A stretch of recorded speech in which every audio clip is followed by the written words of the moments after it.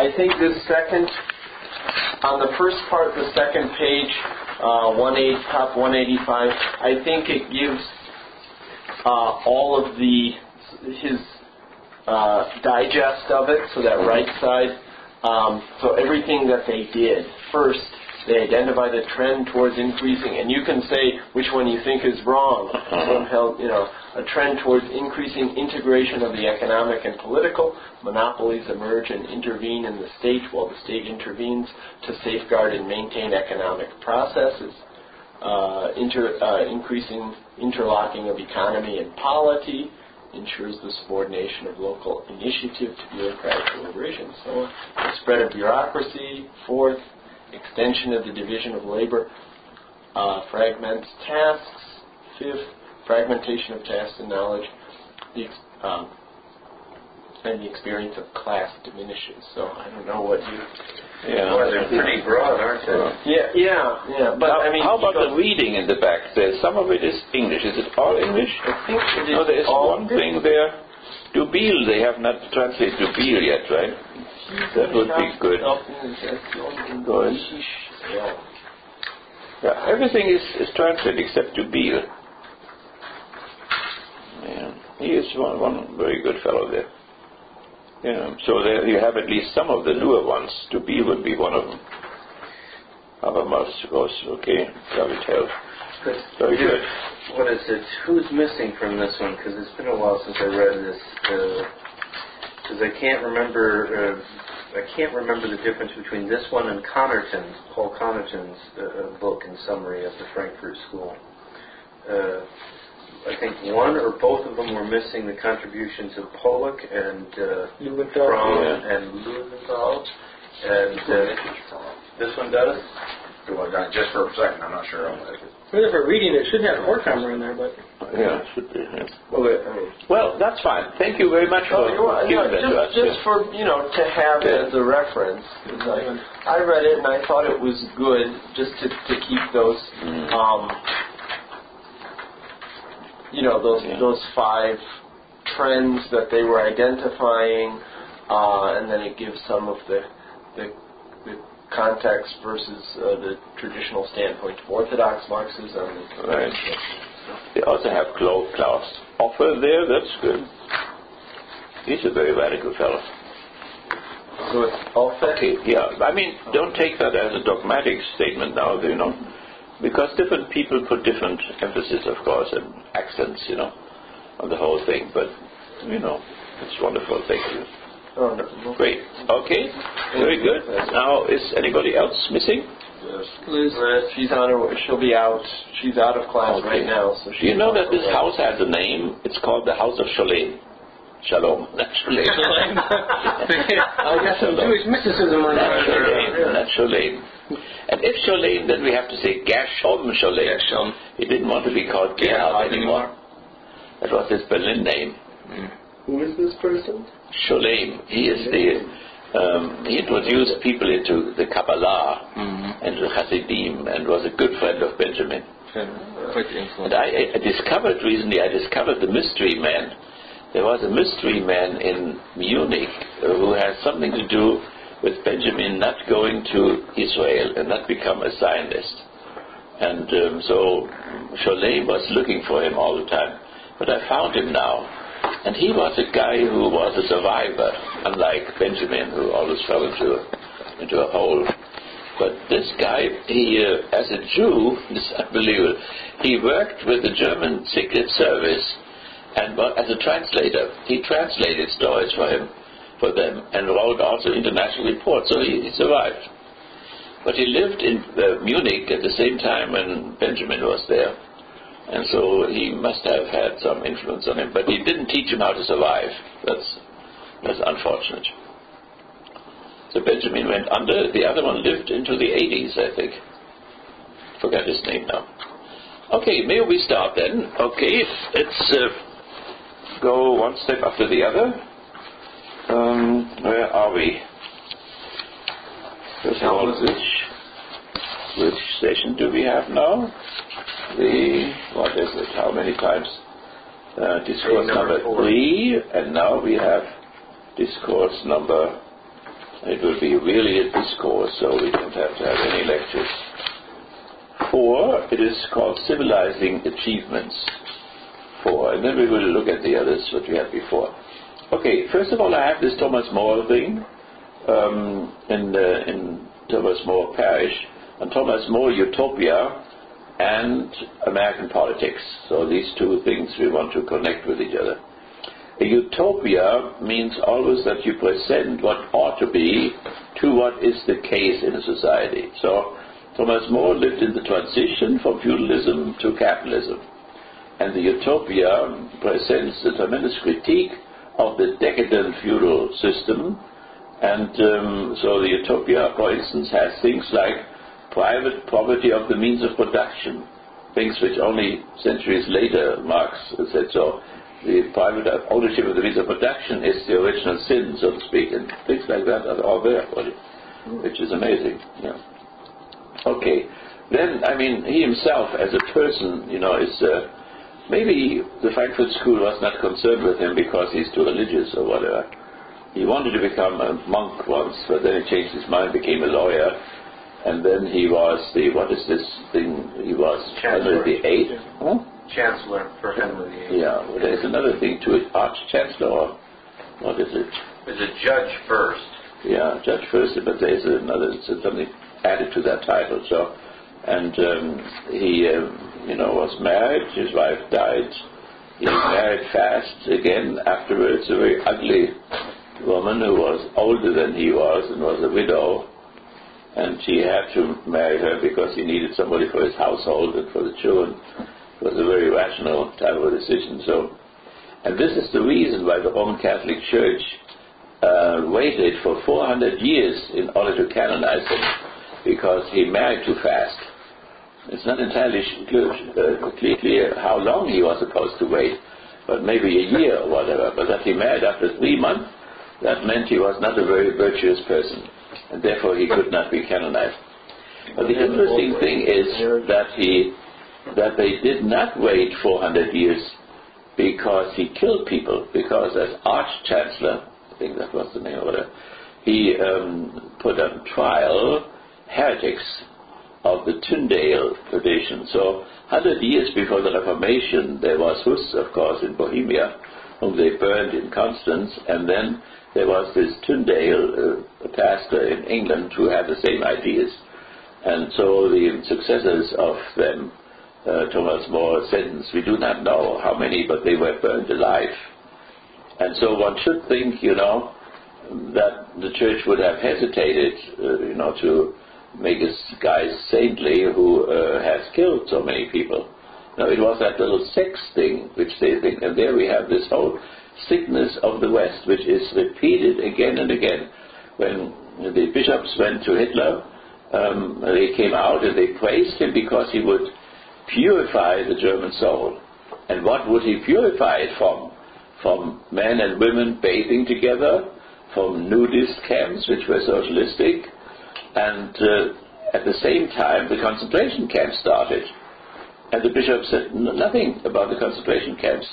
But just about that sex thing, you know, porno and, and all that, Hitler would, would remove. And they were so happy about it that they forgot the aggressive side. So psychoanalytically, there is a strange treatment of the libidinous side of men, and on the other side, the aggressive side, the killer instinct. As if the real bad side was the sex thing, and not the, the other one, the killing thing. And it must have something to do with St. Paul or St. Augustine, some kind of Manichaeism sneaking in. So it would be a very interesting study. And it goes up to our Clinton, who is impeached for his, for, the, uh, for his job. There was sex job, a blow job, but he is not impeached for bombing Belgrade. So could that be the influence of Schopenhauer? No. It's much older. It's much older. So for instance, in the church law, you know, early development church law, they say killing is bad.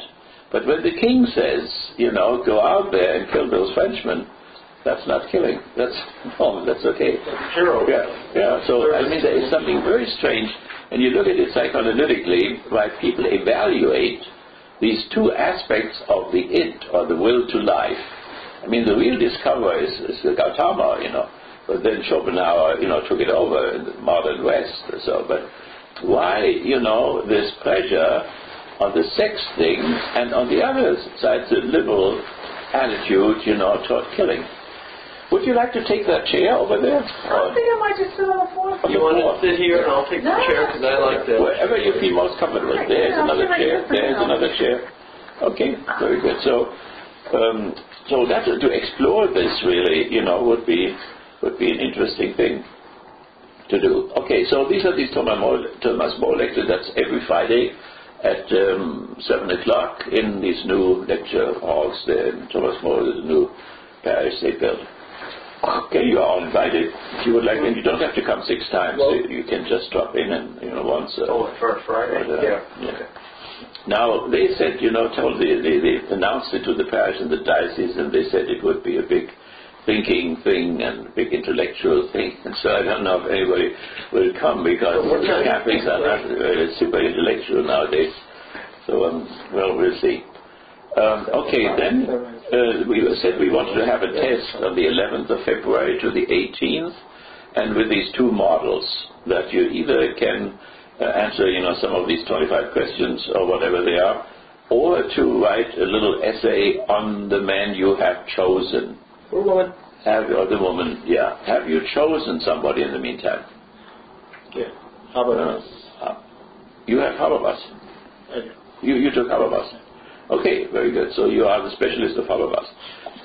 And maybe the next time or so you can tell us a little bit, you know, what you have read and if it's boring or if it's good or what's wrong with him or whatever, right?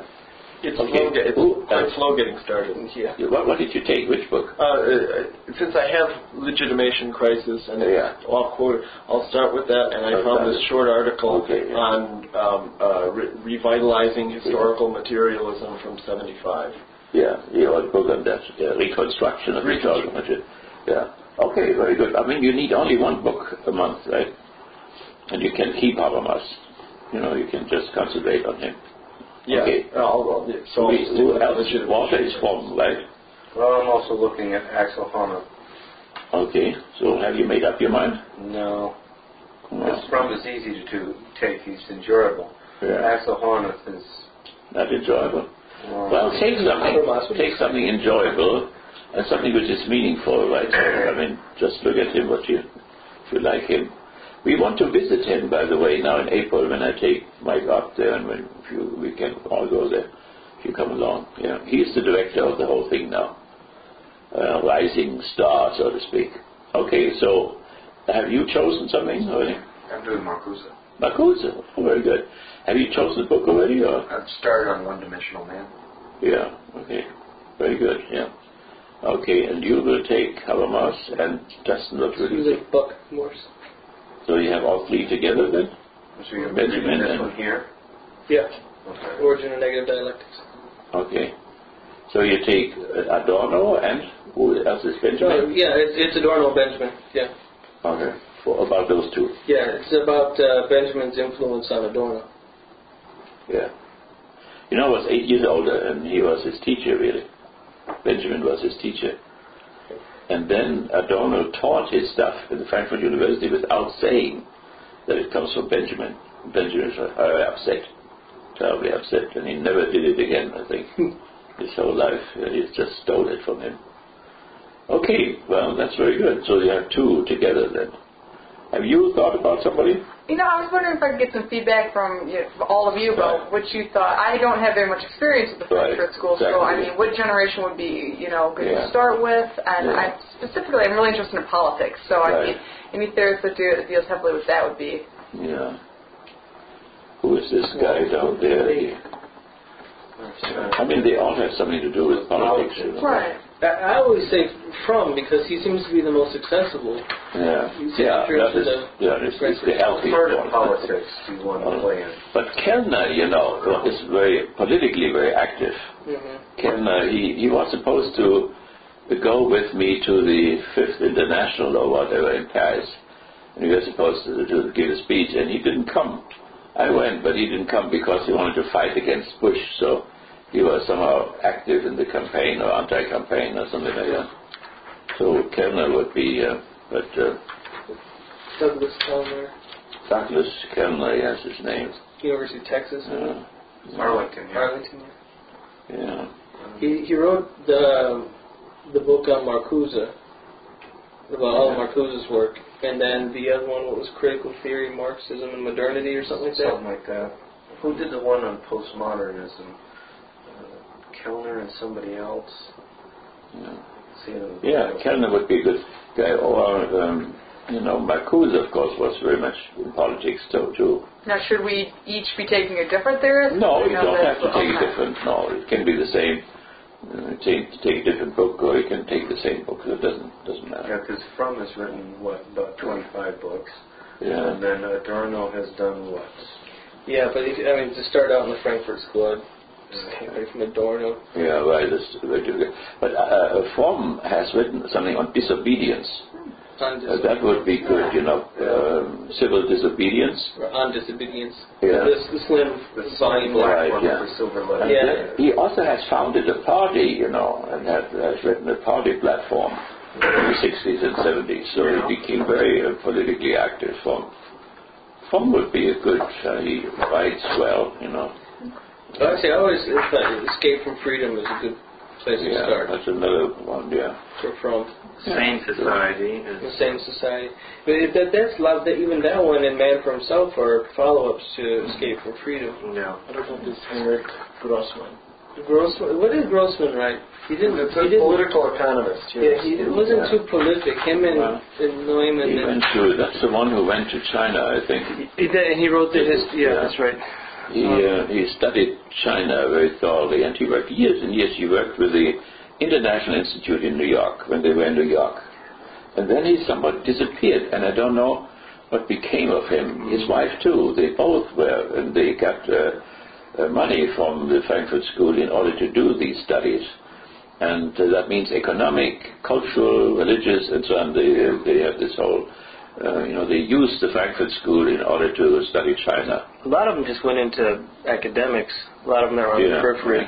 The- Martin Jay Yeah, yeah. Well, Martin Jay talks about don't what know. Right here they have a bunch. They have if they departed peacefully or not, you know. I saw that, yeah. How's your, you know, Freud? How's your Marx? You well grounded in that? I'm more grounded in Marx. I have a little bit of ex- little bit of exposure to Freud. Okay. Now, uh, Fromm has written a book on Marx, has written a thing on Marx, you know. Bloch also has one on Marx, so Bloch is also a very good writer. Oh, what about uh, Offe? Yeah, often I thought of him too, yeah. Yeah. And The uh, logic of collective action. That's, Yeah. that's really. Well, Offe, that's very- Well, I mean, eh, for the Frankfurt School, I mean, it's some of it. I mean, some of the most important foundation is in Marx and in Freud. Right, yeah. So, I mean, even beyond the chains of illusion, which is the sociology of Freud and the psychology of Marx, which is Erich Fromm, that would probably be a really good one as well. yeah. And that's not a big volume either. So. As if you're well versed in, in Freud, then the, the book to wrap that up is The Greatness and Limitations of Freud's Mhm. Thoughts, Right. which is a short one, but, you know, my copy looks like someone just duck, you know, dunked it into a bucket of highlight. I, it's really good, um, but, you know, I specialize in Fromm, so that's all I would give for an answer. Right? Uh, for Marcuse, you know, one-dimensional man, reason and revolution. That's his his piece on Hegel. Yeah. Yeah, that was one of the Uh, first if you yeah. want to see the fight between Marcuse and uh, Fromm, that's uh, that journal. What is it? Uh, he was Fromm was Yeah. in charge of it, the editor. Yeah, I know. Social Forces. Yeah, was it Social Forces? No, it wasn't Social Forces. What was the name of the journal that Marcuse and Fromm had that fight over Freud? Um, Was that Dissent.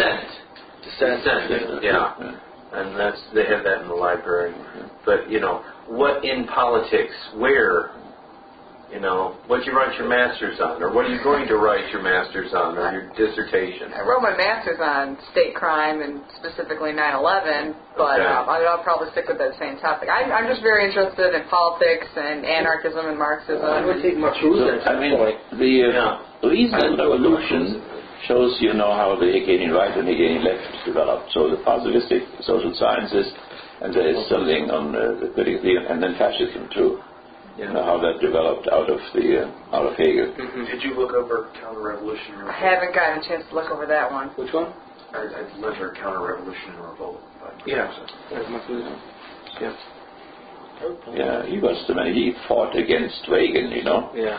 they were struggling with each other, shouting at each other. It unbelievable. And then Reagan won. I mean, Marcuse died. and Reagan went on.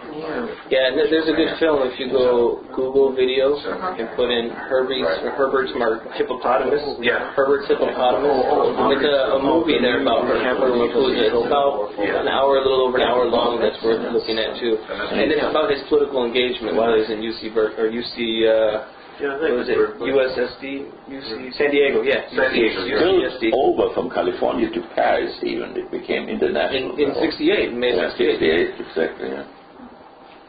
So Marcuse was the activist. And you'll see what is the American Legion talking about when the Yeah. French brought out the riot police. Marcuse was there. Yeah. yeah. He's, he's been blamed by the right for doing everything, including the Lindbergh baby kidnapping. so it's just amazing. They don't know who the hell he is, but they blame him for everything. Okay, very good. So then this test thing, right? And then we have that reading of. Um, should I say something about this book there? What is it? Um, what did we have? Uh, the theory of well, it's the Frankfurt School, right? This book of Frankfurt School there. Um, so it's a book about Habermas. Really. So if somebody chooses Habermas, that will be helpful. Um, uh, and so we took that as our, where do I have this, as our background reading, right? And then the depth study. So this, these were the depth studies. And then we have this other thing would be the background reading as an introduction into, you know, into these newer guys there, particularly into Habermas, into Habermas. Um, so uh, maybe we can we can say some can say something very shortly about this uh, Habermas position now. Of course, he is the most outstanding, most prolific type of a representative of the Frankfurt School at, at the moment. So most famous and has uh, fertilized all social sciences, political sciences, you know, and, and sociology and social psychology and so on, mm, by making this uh, turn, this linguistic turn um, a very simple type of a structure, really, uh, if one has once grasped it. And uh, there is my friend Arens uh, in, in Switzerland and so on, who has went off from there and has developed the Habermas thing further and further. Um, so that means the linguistic turn, as we said already, is rooted in the human potential of language and memory. And then, of course, we said there is work and there is sex and there is recognition and there is nationhood, etc. So, um, but then, uh, and, and we find that in, in Hegel's book on the, the Jena book. When he was in Jena, he developed those five, uh, five potentials. And particularly work and tool, he went very much into detail already in the production of needles. Needle factory, you know, how many needles you can produce in an hour, tremendous division of labor already, mechanization, automation, and so on. It's all there already. And Habermas likes this because it is really alive still. So he's, it's really concrete when he talks about language. It's really concrete when he talks about work and so on. And what Hegel did later on, he integrated those five human potentials into his system. He systematized it. And people always do that. Parsons did the same thing they start out with very concrete life world um, uh, experiences, and then it becomes more and more abstract and more and more systematized. And so, what Habermas did strategically, he bypassed the system and went to the roots, the pillars on which the whole system stands, and that is work and language, and, and so on and so on. And then concentrate particularly on language, and then the next generation began to concentrate more on another thing, namely the, the, the struggle for recognition, master and servant relationship, etc.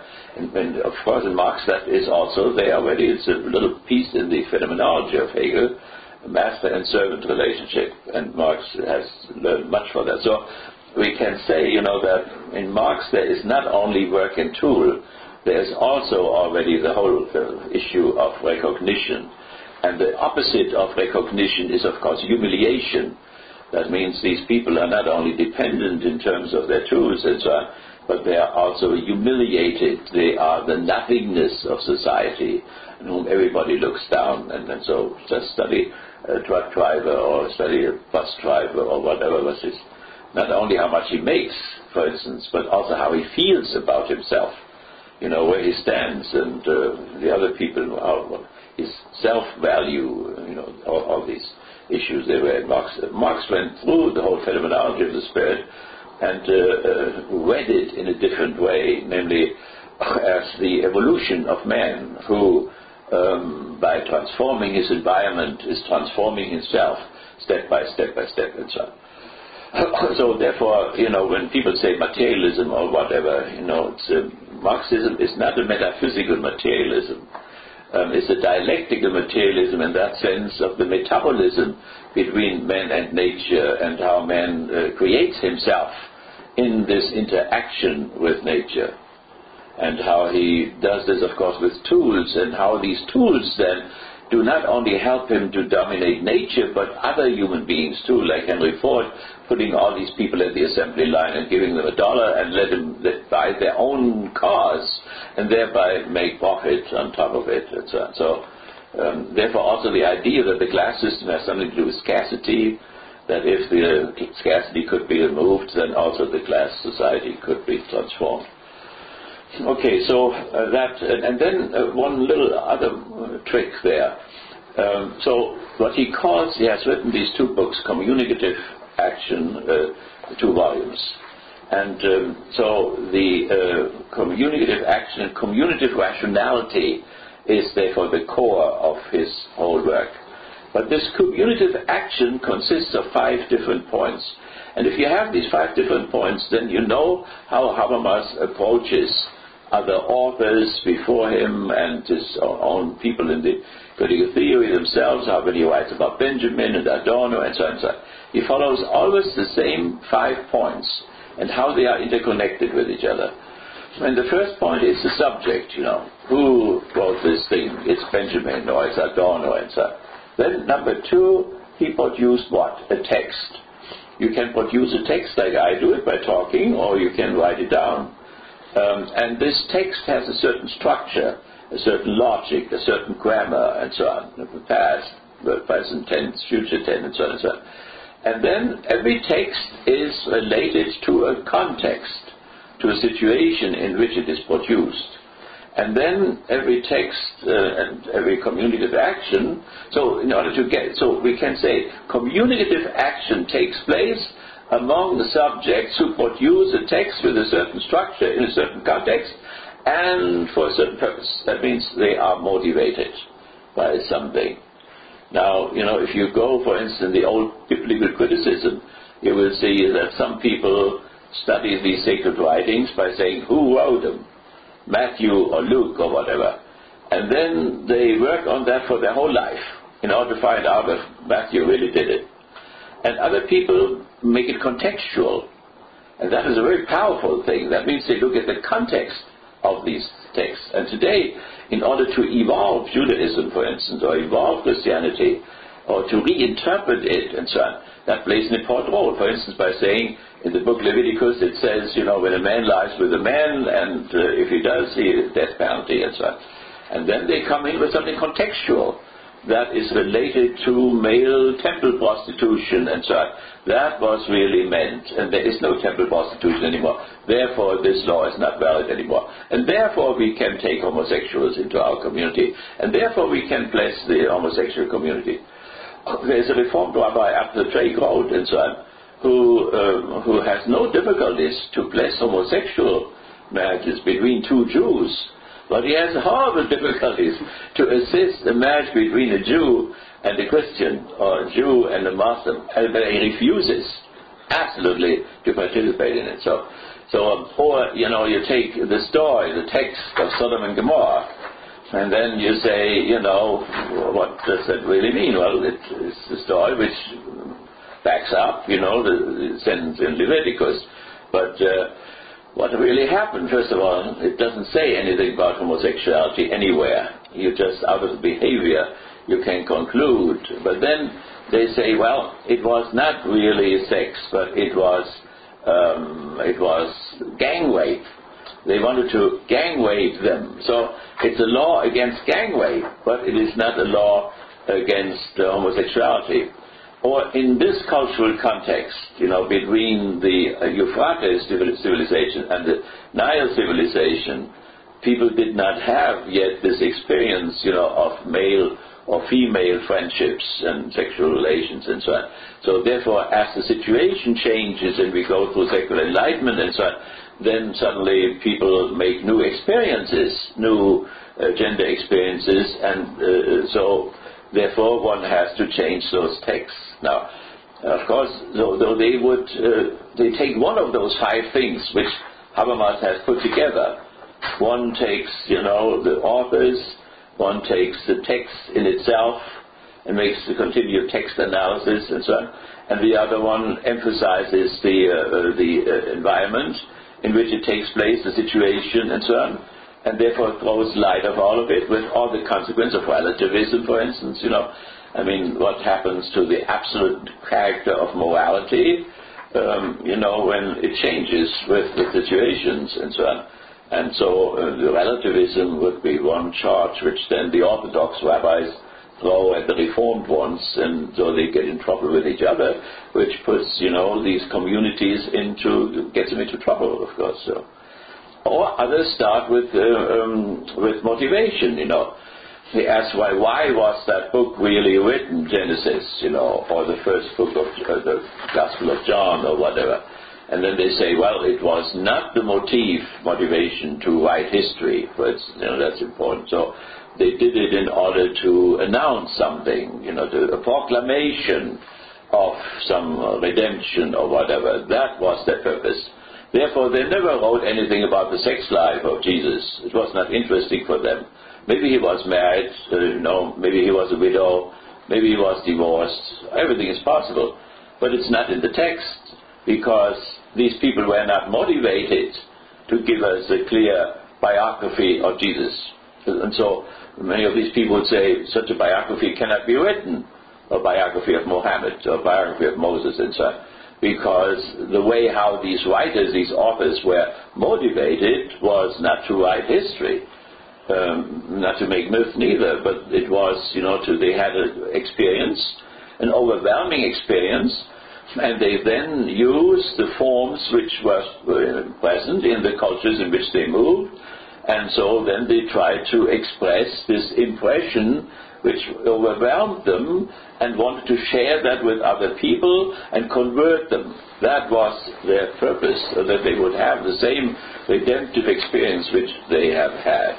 And so that, that gives a perspective. So you could say that each of these five points uh, is some kind of perspectivism.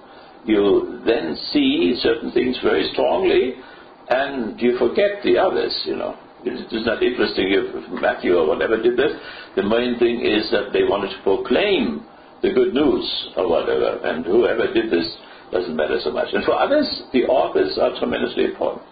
So um, that means when you see how Habermas works, is uh, that he looks at Horkheimer or anyone else, or um, you know, uh, Marx or Freud or whatever, and says, you know, who who was he? With whom did he talk? And uh, what did he say with these people? You know, and uh, it's a very dialogical type of uh, of an approach, you know, and very lively. I mean, his writings are beautiful, you know. So um, I'm just writing the invitation there of uh, uh, to for Dubrovnik, you know, and. Uh, I looked again at the speech which he gave when he received the Peace Prize, which was a few months after uh, September 11th, you know, where he looks at the non-believer and the believer. So he has two persons practically who encounter each other, you know. And uh, one is uh, happy with the secularization, the other one is unhappy with the secularization. Then he finds out that both of them are wrong because we are now in, in a post-secular type of a society, and therefore uh, to that zero, zero game thing there, you know, that only one can win. Uh, and the other one has to pay the price. That is not so anymore. um, the religious people have not lost totally in that secularization process. Obviously, some of it is left of them, and from there he argued that they should have a right to enter public discourse uh, and enter the public sphere with their language, and they have to translate what they have to say. These are all language categories, but they are tremendously fruitful um, in order to. Uh, he, starts out, you know, with a stem cell uh, problem with the believers and non-believers and so on, and then he comes with um, uh, Atta, Muhammad Atta, you know, and sees the believer who attack non-believers. He knows exactly. He doesn't. They don't attack Catholics or whatever, or Protestants or Anglicans. Otherwise, they would have bombed the cathedral there. But it is the non-believers whom they whom they attack, you know, and, and the symbols of this uh, infidel type of capitalism and secular type of, of, of a system and so on. So, so therefore, to, with these five categories, or let's call them categories, these five categories, either that you take one of them and you could analyze, you know, a man just from this one thing, with whom did he talk and whatever, you can analyze him by saying what was the purpose of that discourse, what did they really want to achieve, you know and you can start out with the environment to which they reacted, and uh, there was a revolutionary period or counter-revolutionary period, and, and, so on. So it's a very fertile thing. I, I always have the feeling of a certain scholasticism, you know, and that it puts a certain restraints on on people. So I've never imitated that, but I know some people, you know, like. Uh, Arens and Peukert and so on, who, who uh, work with that, you know, and with this type of scholasticism, and they are not so lively as Habermas is. You know, it's his only mention, and therefore he does it very concretely and in a very fascinating way. Uh, even when you are with him, you know, and you talk with him, you see how, how much that opens up horizons all the time. And uh, the generative uh, power of language, you know, one says something and the other one says something, and how how this is a mutual recreation or creations going on between two people. So, therefore, you know, that is his accomplishment. Um, if one can imitate this or whatever, you know, if it can be learned, a question if it can be taken by the next generation and so on. But um, Arens and Habermas, they are in, you know, in relationship to each other. Arens is a believer, Habermas is a non-believer, and so I talk about this, uh, you know, all the time, and, and uh, it's a very interesting type of, of a discourse. So, and, and uh, so the communicative action, the main, the most uh, um, uh, extreme or the peak of this communicative action is discourse. In discourse, where two people are married, what is happening between them is this communicative action, and then when there is a crisis in this, then in discourse they reflect on this communicative action and say, honey, you know, we are not so close anymore as we were, or honey, we have come too close with each other. And both are death zones of interaction because there must always be difference, but there must also be identity. There must always be closeness, but there also must be distance. And so one could say, honey, you know, we have come too close and, and we are too hanging too much together. Maybe we should take separate vacations or whatever, you know. Or you are traveling all the time. We have become too distant from each other, and maybe we should go over the weekend without the children and should uh, find our way together again, and, and so on. So the whole dialectic of love, which uh, Hegel called the dialectics of love, can be reflected on, and as they have a discourse with each other, they can see if they have become too different or if they have become too identical, and then can uh, you know become practical theory, theory praxis um, movements, and then say let's do something about this, you know, in order to come closer again, or also to have more distance, you know, because there's a symbiosis going on and we become one plant really or one cactus or whatever. It's a, you know, that we also, the myth for instance, when the myth says they become one flesh, the myth is only one side, the identity. The myth neglects completely the difference that they grow in a different uh, uh, speed and uh, that one grows, the other one doesn't grow at all. Uh, and that out of this, of course, a lot of problems can arise. Um, the you know the older model. You have it one flesh or one spirit or whatever. It's just one side of the relationship, and it is the other side which produces the problems now. That um, she, you know, is a waitress in order to get him through law school, and he gets differentiated in law school in these three years, and she gets stagnating, stagnates, and um, then suddenly, after she has got him through law school, we cannot talk with each other anymore. That's with my good friend Ken, who helps me since many years. That's exactly what, what happened to some extent, you know. so You quote Hegel in a, in a Yeah. passage, and he says uh, something about the definition of love is being able to see oneself in the other. Can you explain that? Yeah. Well, so I mean that means you know always this uh, this dialectical movement of going out of oneself to the other, and the other allows us to return to ourselves. Uh, the the linguistic uh, sometimes it looks as if uh, Habermas had invented a new method and had left somehow dialectics behind, which is not true. You can suddenly see when he talks about September 11th, you know, there suddenly comes this, and uh, because of the tremendous development of the productive forces of science and technology, there's suddenly a Marxist statement there in the middle of his otherwise linguistic analysis. So um, I think he remains dialectical, and it would be interesting to ask if these five categories do not have a dialectical relationship with each other, you know. So that means that one subject, you know, that they are in a continual exchange process with each other, that they are different but become one in, in their speech, you know, they they forget their whole environment. If people have a wonderful discourse with each other, they may forget everything around them, you know, and may become one in this in this exchange process. So so he talks about these five things, but you know the subjects are the dialectic relationship, but also the subjects and their environment, their situation, you know the text and the and the context, uh, and so on. So he has a book for his text and context, which is uh, obviously you know dialectical formulation. So um, so it is it is rather uh, the Hegelian concept of supersession in his uh, linguistic theory, he supersedes the dialecticians before. So, but he rescues the dialectics in his uh, in his five points there.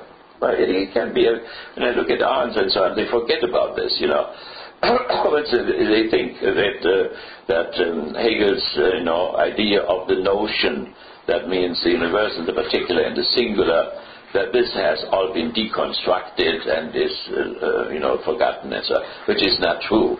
What they have done is that was a theological concept, and they produce, now produce as a secular type of a concept. It has nothing to do with the Trinity anymore, whatever. But it's still, when they talk about the notion of the nature, whatever, it's still a very dialectical. Uh, or when they talk about the family. So um, they have a book, uh, you know, Horkheimer, um, Horkheimer, Marcuse, and Fromm wrote a book about the family. And there you see, you know, there are three levels. There's culture, there is society, and then there is the family and the individuals. The last one is the singular, society is the particular, and the culture is universal and you can, uh, you know, each of them can become a mediating factor. So that means the particular, namely society, mediates now the individual and the family with the culture, or the culture with the family and the individual. And then you can put, you know, the family into the middle and make that the mediating, mediating uh, term there between them. And this is all, is all Hegelian logic, you know. And not only that, they would uh, read Kafka and would see, you know, that suddenly categories of nothing, being, and becoming, and so on, that they are all there in Kafka or in, in, in and so on and so on. So um, they definitely Adorno and so on remains a dialectician, but also when we make that linguistic turn and then have these five categories, I think they, they remain uh, dialectical. So now with this, what I just mentioned, this uh, going out thing there. So the notion means the universal particularizes itself and then singularizes itself. That means it returns into its own singularity. The Neoplatonists uh, used that notion. That was the highest accomplishment of Greek philosophy. And the Greek uh, church fathers put that together with the New Testament. Of course, there is no Trinity in the New Testament. There is the Father, of course, and there is the Son, and, and then there's the Holy Spirit, which is promised after the Son is dead, and so on. So, but um, there was never a doctrine, if you would have asked Jesus or Mary or Peter or whatever, uh, tell me about the Trinity, you know, one nature and three persons, and, uh, you know, Jesus, how are you now? How is your human nature doing? How is your divine nature doing? He would never know what the hell they are talking about. I mean, not even the Greek Jews, you know, who were around. Jesus was not a Greek Jew, but not even them. But the Greek uh, uh, fathers, church fathers, did this unbelievable movement, you know, which is decisive up to Regensburg. You know, the, the, the, I think the Pope's talk in Regensburg, you know. Um, the, uh, they bound together the highest accomplishment of Greek philosophy, the dialectical notion, with these writings there in, in, the New Testament. It was particularly with the help of Plotin or the Neoplatonists, and uh, Augustine was a Neoplatonist, and, and, still, you know, even in the Latin, on the Latin side. So, um, and, and this produced then these councils and, and Nicaea and Chalcedon and so on. And then there is state power too, because the state now was interested, you know, that, uh, that Alexandria and uh, and uh, the other cities. So one said Jesus is the man, the other one said Jesus is the God, and so. And then they tore each other apart and sent each other into exile, and so. And so the emperors could not endure that. That was not good for the empire. So they simply forced the bishops together, and you develop now a formula, you know. So uh, in one city, Caesarea, they say he's a man in Alexandria, and you get that together. And so they, they got this formula together on the basis of Greek philosophy. Now, if Greek philosophy gets lost, you know, for the Muslims, Aristotle gets lost, and the Christians, Aristotle gets lost, or whatever, then it's all hanging in the air. And the interesting thing is that in Regensburg, you know, where he got to, Pope got in trouble with the Muslims and so on, um, but because the whole damn thing was misunderstood, what he said was practically the dehellenization of Christianity makes it into a tiny little story it will not be Christianity any longer. And so, uh, therefore, it turns against the dehellenization of the Enlightenment, dehellenization of the Reformation, dehellenization of uh, intercultural multiculturalism. You know. So people talk about here again about you know we will not be a one racial or not one race will any dominate anymore. We will be a plural racial and a plural cultural, and so that is this uh, a plural culturalism, multiculturalism. And what the Pope has against that is that Christianity may be connected with another culture as it was connected with the Greek culture. And that does not work. It will never put, go together with the Chinese culture as it went with the Greek culture. And what that really means is this notion, this dialectical notion there, this going out of oneself, alienating oneself from oneself, and conquering this alienation and reconciling oneself with oneself. And in terms of poetical things, we can say narcissism. Um, this atomistic liberalism, you know, which the neoliberalism is here, that is uh, um, abstract liberalism, I call that all the time, because these atoms have a hard time to get out of themselves to otherness, really. They say, How are you? I'm fine, and so on. But there is no real moving over to the other and no return. And so Narcissus, we can call that liberalism, narcissistic. You see that even tonight, you know, there are in the Senate and on the Republican side, there are people, while the whole capitalistic thing, you know, is wiped out underneath them, they go on with this atomistic type of a thing, one has to leave it to the individual businessman, unto the free market, and so and, and so they, they are against both. They are against Bush and they are against Obama when they vote tonight. They will vote against the stimulus package, you know. In spite of the concession of $200 million for birth control and so on, they cut that even, and they may make other concessions and so on. But it's a mindset, you know, it's a philosophy. And the philosophy is narcissistic. And Narcissus has that problem that he sees always himself. When he looks in the water, he sees only his own image. He cannot break through to otherness. The lack of otherness is his problem.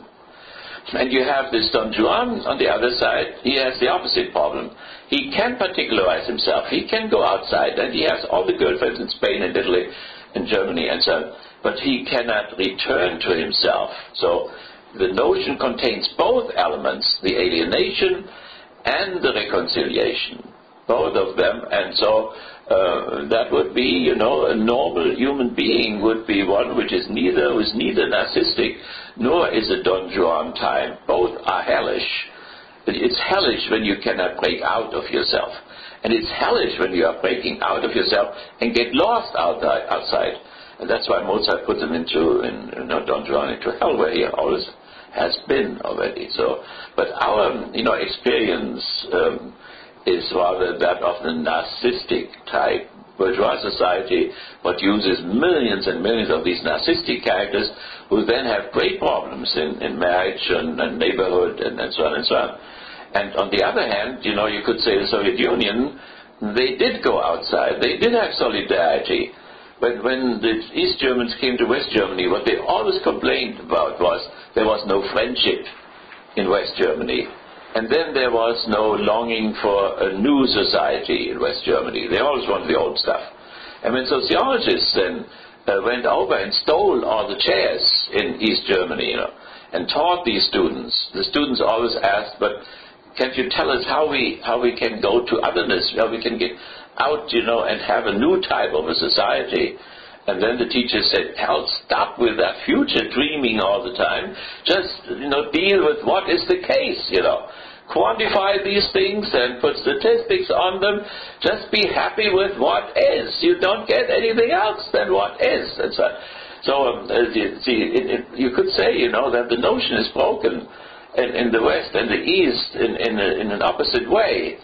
Uh, in one case, people are too narcissistic and have no otherness, and the other side, they want to have this otherness all the time, but you know the um, the individuality may be lost or neglected or whatever. So how does somebody want? How does one return to that reconciliation state then, or you know, make Yeah. it to that point? Well, I mean, in marriage, you know, would be a good example. A love affair would be the most concrete things, you know, to what extent people really go out to themselves. I think homosexuality, you know, may have something to do uh, with that one cannot, in, in this particular example, you know, break out into into otherness. Uh, and then, of course, one can also not return. One stays always with the same gender. So it, it, you know, otherness always means something different in different situations. So, but in terms of homosexuality, it would be, you know, that one cannot really uh, reach out to to this other. Um, and uh, I mean, I have this, I have a son who is a homosexual. So I had years and years, you know, to um, to then we kept him in the family and we love him and uh, you know, he did wonderful things for the family and so on. But um, there is a strange thing about otherness, uh, let's see, in the form of the mother, for instance. So when he comes on Christmas, he wants to take the picture of his mother down, always. Of course, he has a, a cover up. He says, I want to put, you know, wreath on this, so therefore it has to disappear or whatever. Or when my wife was dying, he was sitting in the basement and was drumming, you know, like I had a little drum and, and he played and it, uh, he knew it was disturbing or what for his mother, you know, laying over there and, and suffering and so on. But he forgot it always again, you know, and then when I said to him, you know, stop it, your mother wants to sleep he would do that right away, you know. So, so and he has friends who have uh, five children, two men in Los Angeles, five children and the women should not come in. Now they do need them at the fringe, so because they have their own children, so they fertilize eggs of women, and the women carry them. They never see those women; they just get the babies, and but then in order to take the babies, they also hire a maid, uh, so they can never keep it out completely. But they do their best, you know, not to be in touch with this otherness, but to stay in terms of their sameness. That means the same gender and so but there are, you know, there are many other examples where otherness is not not reached. So um, they have this formulation of the longing for the totally other, the entirely other. Uh, which comes from Otto, you know, has this the sacred uh, thing there, the book about the holy. Uh, so it's therefore they would say that they are also religious, unmusical, or whatever. where they cannot elevate themselves to the otherness of this world of appearance or this finite world and so on. They can just stick with that finite world. And the dialectics between God and the world and so on, it just doesn't move with them. So, so there are many ways how otherness is excluded and how people can remain narcissistic. I would say it is, the, you know, that is the one-sidedness which characterizes civil society to a large extent. And against that, then you have the protest, you know, of course, the socialists who emphasize the socius, you know, which is exactly the other in all its forms, you know. And, uh, and, and want to overcome that civil society. And then comes the fascist movement in terms of National Socialism, you know, who then want to satisfy that longing for solidarity and, and so on, and at the same time rescue capitalism. So it is this unholy trinity, you know. Civil society has the problem, socialism is the answer, and civil society uses fascism in order to cancel that socialism again. So therefore you have the, the Arena Party in El Salvador, you have a fascist sitting everywhere, and, and uh, we pay for them, and, and so on and so on. Uh, so and Hitler was this guy. I just saw him yesterday in a movie where he goes to the Krupp family, you know, uh, visits Krupps, and Bertolt Krupp did not come did not receive him, and so he was angry. He marched through the factory halls, you know, and was a thunderstorm was going on. And so, so then uh, Krupp, the old Krupp, you know, uh, took his sister. His sister had to come with him, but Hitler noticed it was the sister, it was not the wife. He was not recognized adequately, and so on. But then, two years later, you know, the Krupp family was all for Hitler. And then Bertha was there and jubilated when Hitler came in, and so on and so on. So, so this is, uh, you know, they they used him. They tried to use him uh, in order to conquer the communists and the socialists. And uh, I don't know if they planned, you know, to go into the whole Soviet Union or whatever. So, but then Hitler broke out. You know, he he was not a simple guy that they thought he was, you know, a little drummer or whatever, a little private soldier or whatever. Corporal. He was much more corporal. He was much more than they ever fought for, and, and so. Um, and so, you know, that that is, and we are in this thing too. I mean, we have this little essay here, you know, where we will have to decide this. What if we go the Peron way or the, the Chavez way? Uh, you know, there is a, a possibility of a fascist solution to all of this in terms of corporatism, with the exclusion of the 180 million workers, or there is a socialistic um, possibility, you know, the, uh, the Chavez way, so where the masses would participate in in what happens with their surplus value in whatever form, you know, whatever form that would take. So, but the notion, the dialectical notion, is uh, is not abandoned by the Frankfurt School. That would be a wrong wrong thing.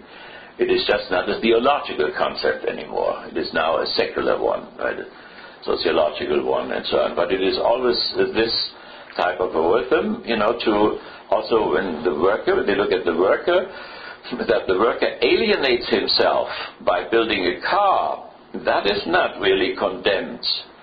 What is condemned is that he cannot return to himself, or that he returns to himself only partially, namely in form of his wage, but not in the form of recognition. You are the real producers of wealth. But that the damned capitalist with his billions says, I am the producer. We call the capitalist the producer in spite of the fact that the worker is the producer. And even the worker believes that, you know, that uh, forgets about it. He's unaware that he is the real producer of all the wealth. Thank God Henry Ford gave me a job. Yeah, right, yes. Yeah. And I mean, there is some truth. He, he does get a job, you know, but uh, he gets on, on a very perverse type of a situation because why can he give him a job? Because he has capital, and that capital is the dead labor of yesterday, of the workers of yesterday. So that means he turns the workers against the workers as he turns nature against nature. In the policeman, we turn the aggression of the policeman against the aggression of the criminal. We turn the criminal in the policeman against the criminal outside. And sometimes it doesn't work. The criminality in the policeman breaks through. And then we have two criminals namely where a policeman beats somebody to death there who doesn't even have, have any weapons or whatever. So, you know, they become violent, as we say. So you have a little implication that every policeman is sort of a little, a little fascist. Yeah. uh, a Well- fascist in miniature that's used by bourgeois Right. society against Yeah. the workers. Okay. Yeah, or you know, more psychoanalytically, that if we have that id and and uh, this, uh, we we turn the aggressive component of the id in the policeman against the aggressive component of the of the of the murderer outside, you know, and it's a very precarious balance on which the whole civilization rests, and therefore it can so easily, like Guantanamo Bay and whatever, it can collapse, you know um, or this in in in, in uh, you know in Iraq, uh, what what happened there in, in the prisons on. it takes almost nothing, you know. And uh, when the civilization is halfway stable, you know, then people forget about what is underneath. And Freud, when Freud says people always knew about spirituality, you know, but they didn't know about the instinctual life uh, underneath, which is not entirely true. Of course, Aristotle knew about the instincts, and, and so did Schopenhauer, and, and so on. Of course, so, it's an exaggeration, but it's a, it's a shift, you know, of attention. That means I'm paying attention now to the basement there, in, in there, in the basement of the individual, like Marx went into the basement of society.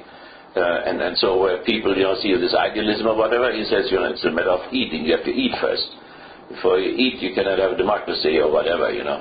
The other one says, you know, the same thing about sex or aggressions or whatever. So unfortunately, we have that.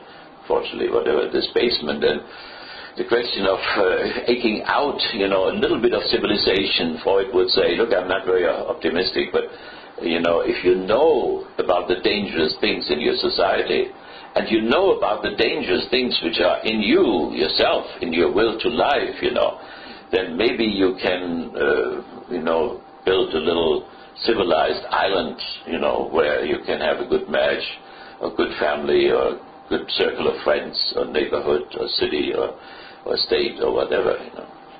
Definitely, I mean, Obama, the way he goes, you know, gives the signal. He talked to the Arabic radio station uh, two or three days ago, and it had very good reactions, you know, all around the Arabic world. So he, uh, you know, there is this possibility of, of creating civilization. We can do that, but so easily, you know, it is broken through again into utter barbarism. And the Gaza thing, you know, a few weeks ago, that is the breakthrough of absolute barbarism. Again. Or Guantanamo Bay, and so, you know, the message we will close this now it has right away resonances in all human beings who have an interest to keep civilization going but it's a very, very dangerous thing. You know, it's not only fascist. It's you know we have done Stalin too, so it can happen under any kind of a system. okay, but um, anything else about this book? So that's what it's about, right? Habermas, the human potential of um, of language and memory, and that means also anticipation. And then there are these four, five categories um, by which we can understand communicative action and communicative action climaxes in discourse, and we can define discourse as future-oriented remembrance of human suffering with the practical intent to diminish this suffering. And so in this case, the critical theory is an ongoing type of a discourse. Since 1914, since the Happy Island of Happiness, which uh, Pollock and uh, Suse and, and Horkheimer founded, from that time on, this discourse has been initiated. That is uh, something very similar, like religious things, like Jesus and his friends. And uh, Horkheimer used that. He said, you know, the same thing happens to us. What uh, happened to Jesus? They misunderstand us everywhere. You know, even the youth movement itself understands, uh, misunderstands what we what we have to, what we want to do. And so I think what we have to do is to see to uh, rescue as much as possible the critical theory of from misunderstandings because it is very understandable, you know, that in different cultures and so on, these texts, these texts now in different contexts are understood in a different way. And some of these ways may be legitimate and others may not be uh, legitimate. And how do we know this? I think uh, the core of the whole thing are really the genius Adorno and in combination with Horkheimer. I think that this constitutes the uh, the um, you know the core of that what's called critical theory. And the question is how far the other. So Marcuse dedicates his stuff to Horkheimer, and therefore says yes, that's where I'm coming from. With Fromm, we have some difficulties about money and, and ego psychology and so on. But I think fundamentally they never attacked each other. I think it was always clear that Fromm was part of them and that Horkheimer regretted most deeply of all those who left. Uh, Fromm's leaving was the most painful one. And I think it had something to do with Fromm's being rooted in the, in the Torah the Talmud, and uh, that he had a radical interpretation of Judaism, and so which they liked very much. So that was a painful thing when he when he left. Uh, and but there was no hostility later on. And Adorno said some nasty things sometimes, but Yeah, neither Adorno and Fromm never liked each other. right, yeah. okay, so Could I uh, ask a quick question? Yeah. It's kind of All far this, back, uh, Yeah. but about the uh, inability of Christianity to, to go out to another culture yeah, that you were talking. okay. Uh, are you, uh, do you mean that um, uh, it's sort of like the original sin of Christianity that its um, whatever internal coordinates were established by a particular culture, and it doesn't want to admit that it's culturally constituted, so it can't reach out to other cultures and say, "Oh, well, we can accept this culture because we accepted Hellenistic culture." But let's see, you know, where they really tried. So the Jesuits went to China, as you know, you know, and tried to introduce Christianity into China, and they were extremely open to assimilate, you know. So they wanted to call Yahweh Tao, you know, or they wanted to be de-Latinize, you know. Why should we call him Deus, you know, or Theos, in Greek and so on? Let's call him Tao.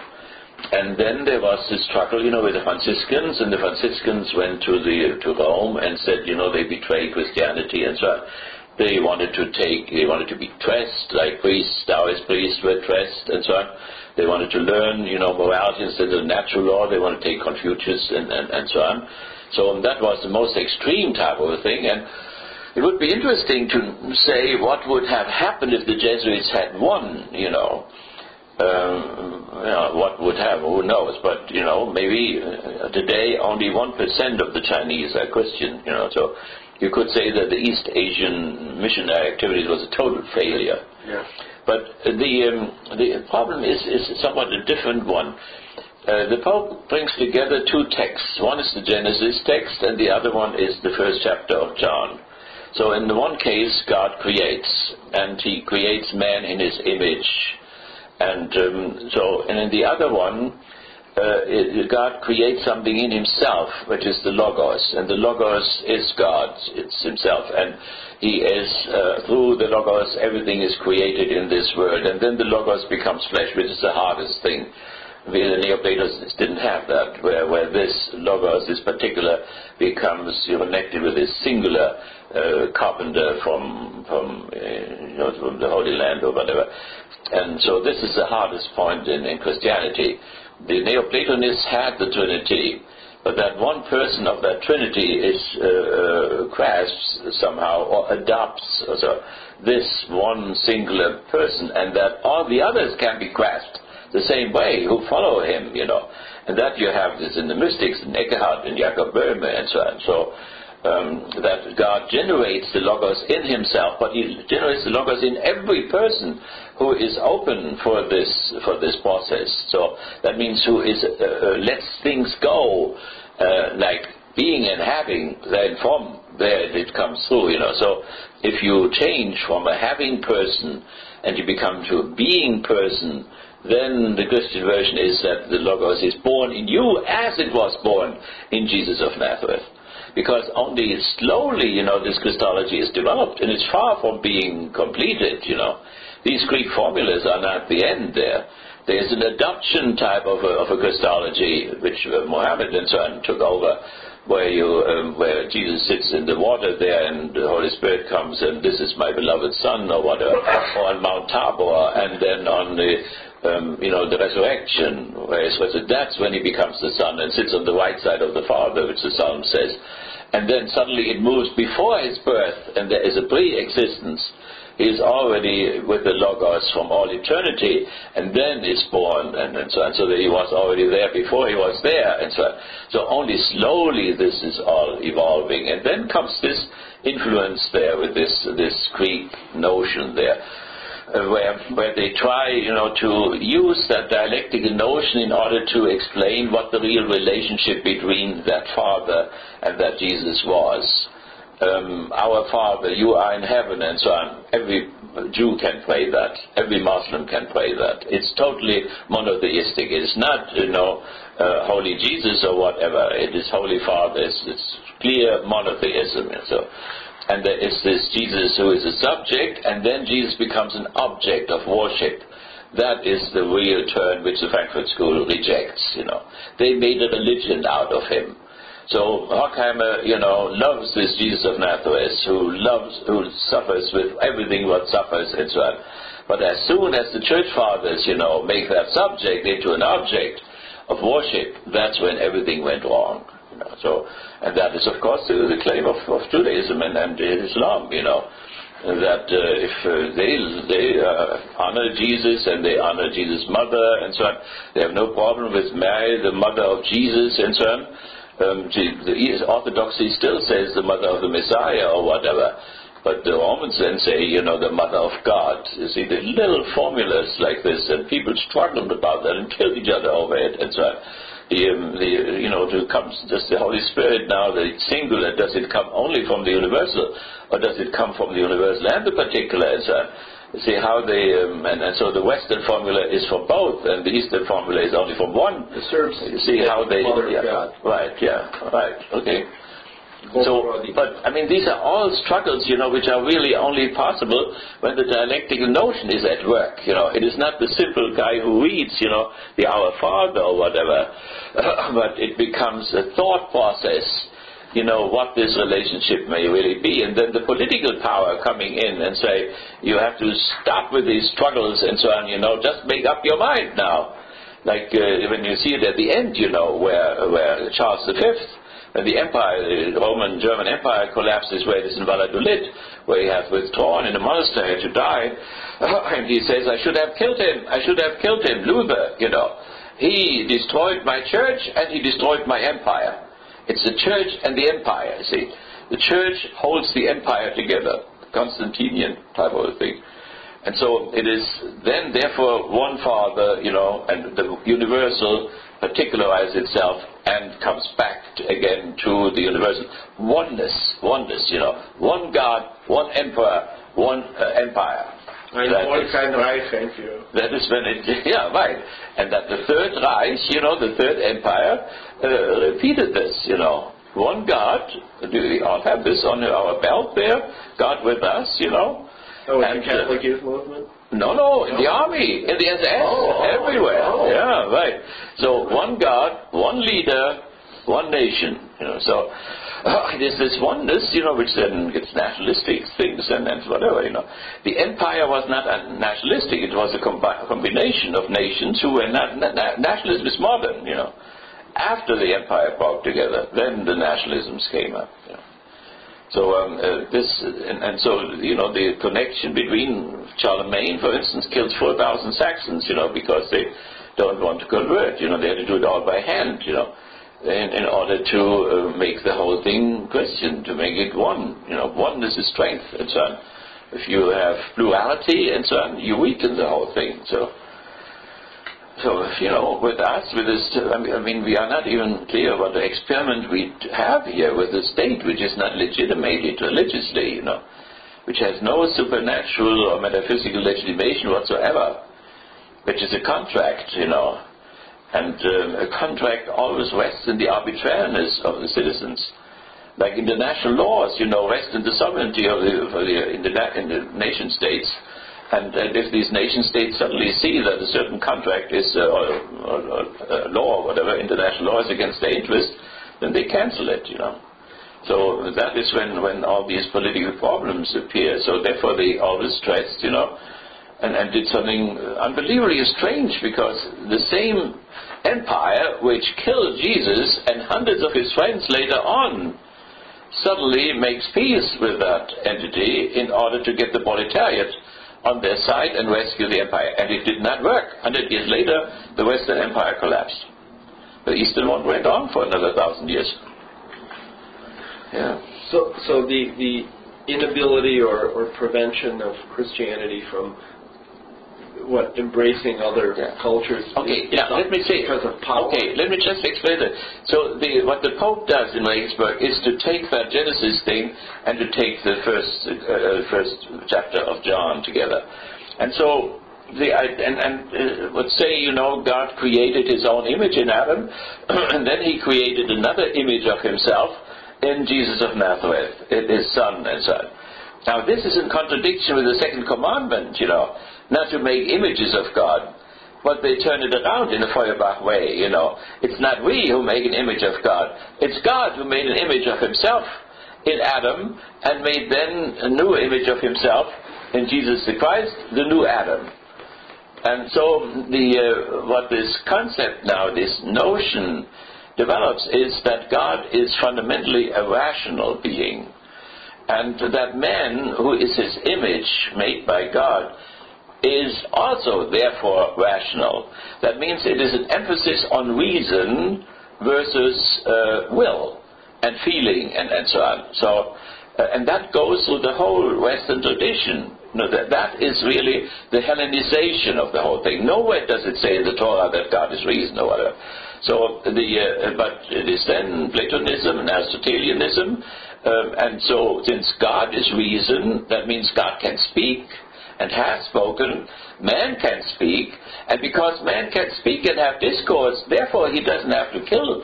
eh, Don't, people don't have to kill each other. That was the message which which the Pope wanted to give with us. He's a little bit super intellectual, and so therefore what he wanted to say is, look, before we were de-Hellenized by the bourgeois enlightenment and by the Reformation and so on, we thought that God was reason, and we thought that man was his image and was therefore reason. That means he was a talker. Because logos and word is the same thing. Logos means reason and it means speak. And therefore we had discourses, and when we have discourses, we can don't have to have war. We don't have to kill each other. And so uh, then now Habermas would, of course, as non-believer, take the side, not you know to attack the Pope. What he would say, Pope, you have to remember that this de-Hellenization produced the Human Rights Declaration of the bourgeois revolution and so on, that it produced the uh, natural science revolution and so on. So these were great accomplishments, you know. So if we would re-Hellenize again, we would risk the loss of these wonderful modern accomplishments, you know. So that is the counter argument. A believer and a non-believer talking with each other about Hellenization. And so if you take Hellenization away, then you have uh, then the nominalism, you know. You have Gabriel Biel, who is the teacher of Luther. And that is how, how the Reformation got that way, you know. And then oh, Wilhelm of Ockham, the will of God comes into the foreground. God can say on one side, don't kill, next day he can say, you know, butcher these Canaanites, and, and so on. So that means God himself becomes will, and then also man becomes will. And you have the, the whole 19th century, that shift in Schopenhauer Nietzsche and so on, where it is not the intellect now, which animal rationale, the speaking animal and so on, but the, where it is will, uh, the will to power, you know, and, and this, uh, well, we have this movie there by Riefenstahl, you know, in, in about, what is it called? The- Triumph of the will. Hmm? Triumph of the will. triumph of the will. Yeah, there you have it. You know, and Hitler even you know he have it in a personalized way. You know, the the, the willpower of this guy. They had a movie on, on the Dr. Sorel or whatever his name is, who was his medical doctor and fed him with pills and so on. But I mean, what this guy went through, you know, but this iron will, you know, after the Ardennes offensive, you know, where he was tempted to kill himself uh, already and then holding through once more, another three months, you know, and uh, after the assassination attempt and so on. So that's, he lived that, you know. That means the, the body is simply an expression of that will. And therefore, Schopenhauer, of course, has that very strongly. And Schopenhauer was Hitler's philosopher and Goebbels' philosopher, and they discussed it to the end of, of their life. So, uh, and therefore also the fascination, you know, he could underwander the rationality of the intellectuals and the humanists in Germany and so on, and could uh, address that will uh, by his speeches, by his rhetoric, you know, with drugs or without drugs doesn't really matter, but the, uh, uh, you know, he was able to uh, be in touch with that will to life in millions of people. And by his rhetoric, you he had a wonderful use of the German language. I mean, almost like Luther, you know, uh, was able to, you know, to seduce them or whatever. But it has something to do with the shift from from the intellectual to to will Okay. power. The de-Hellenization of Christianity Yeah, right. was changing it Right, from right. uh, this perfectly rational, reasonable, yeah. God is reason to now God is Man is reason, is, yeah. Um, so now Yeah. God is the Will, this, yeah, this yeah. irrational will. Right, so yeah, he's right. bemoaning. So uh, Benedict was bemoaning this. Right. Yeah, was bemoaning quoting the de-Hellenization process. Yeah. Right. What was it? Basil. Basil. He was quoting. Who was he quoting? Uh, When when Theodosius. Um, Yeah, but that was uh, one doesn't really know how that gets into it. You know, he is not a specialist for Islam. You know, so but he had a professor from Münster, Münster, who is one, and he must have given him that story. Um, and it happened somewhere in Turkey, and and uh, you know that that Mohammed with Mohammed just came all this violence and, and so on and so on, and that was taken very badly. And I don't think he meant it, and I'm not entirely sure what that should mean. You know, it cannot mean that Mohammed was de-Hellenized or whatever. I mean, uh, you know, because that things the Aristotelian movement, you know, came along after after Mohammed, along the North African coast and in Spain and so on. So, and, and at that time, the Muslims were also were also Hellenized still, you know.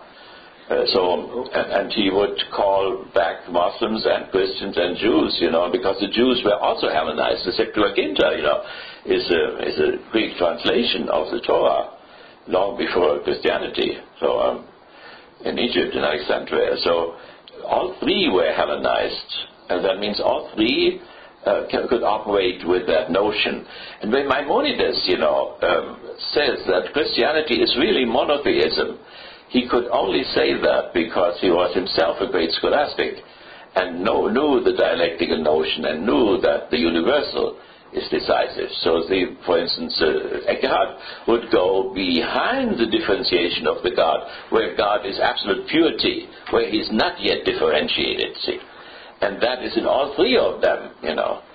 Uh, so that uh, in, in Christianity, then you have people who believe in the Trinity but say, you know, before there was the Father and the Son and the Spirit, between the universal, particular, and singular, there was the pure universality, and the soul has to get in contact with them. You have to be one with this oneness of God, and then you are really redeemed, and, and so on. So, so this, um, in all three of these religions, you know, the uh, the intellectuals in them, the teachers, you know, were Hellenized. But what to do about this now? You know, that is that's another question. Obviously, you know, re-Hellenization is not possible. You know, so I don't even know if the Pope thinks that this could really be done. You know, he is just critical of of these three things: of the Reformation and of the bourgeois Enlightenment and of the present multiculturalism and what it would do, what it does to these religions, namely, uh, it becomes more a will type of a thing, and we will not have discourse with each other, and we have to slaughter each other. Because where there is no discourse, there's war. If you want to have war, all what you have to do is to repress discourse. That's what Bush did. Should we take a break? Yeah. It's almost eight. Yeah, okay. okay. And we want to have our movie too, right, today. Let's not forget it. Yeah, we are for 8.50, right? Yep.